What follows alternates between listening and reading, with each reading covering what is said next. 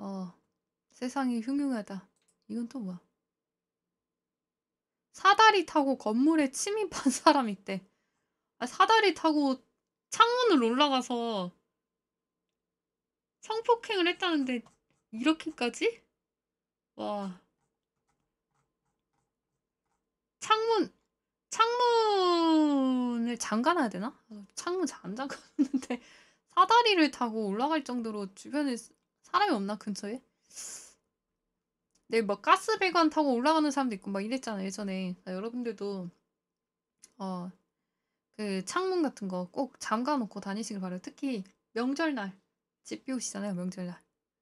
명절날 집 비우시니까 어, 도둑이 될 수도 있으니까 그 문고리를 잠가 놓더라도 뭐 드릴 같은 걸로 뚫는 사람도 있었어 예전에.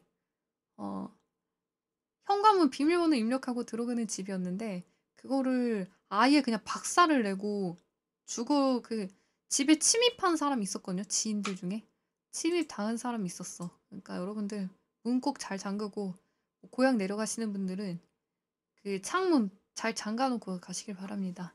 그리고 그 약간 그런 거 본대. 계량기 같은 것도 본대요. 전기가 흐르고 있나 안 흐르고 있나. 이 사람이 집을 비웠나 안, 안 비웠나를 그거로 본대. 이 사람이 지,